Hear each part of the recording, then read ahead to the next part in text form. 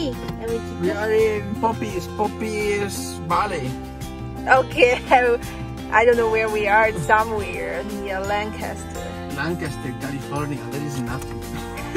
Except the puppy. Until here. Okay.